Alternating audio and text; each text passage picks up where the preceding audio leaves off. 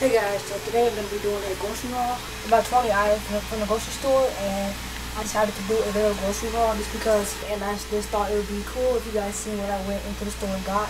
So yeah, I hope you guys enjoyed my mini grocery haul and let's get into the video. So we got a lot of, got almost everything on sale. We got this stuff. I got this stuff from the dollar stores. Butter wing cookies. It's like butter cookies. Got two packages of those from the Dollar Tree. Um, butter wing cookies. And then we went to the and we got some bread. It was on sale. We just get the bunny soft twist white bread. We got two of the bunnies, two of the bunny breads.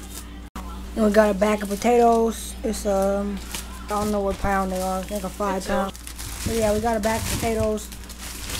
Green Giant fresh Idaho potatoes. I think these ones sell for like a dollar something. These ones sell for a dollar thirty-three. And then I got some of this because I might make some chicken alfredo. It's just the ragu classic alfredo sauce. And then I got some scallop gratin potatoes. These ones sell for a dollar. Just the original, I think. So I got these. And we got some Kool-Aid for the baby.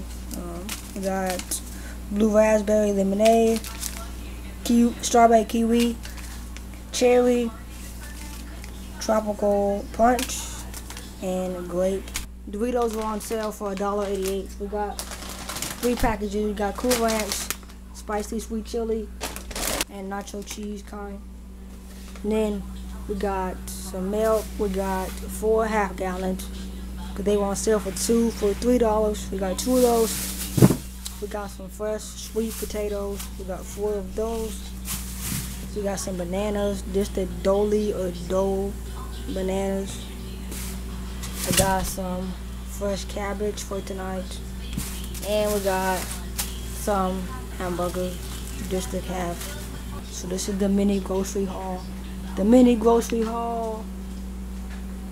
Everything we got. So yeah. Thanks so much for watching my mini grocery haul. Hope you guys enjoyed this short video and I'll see you guys in my next one. Should be very soon. Bye y'all. Peace.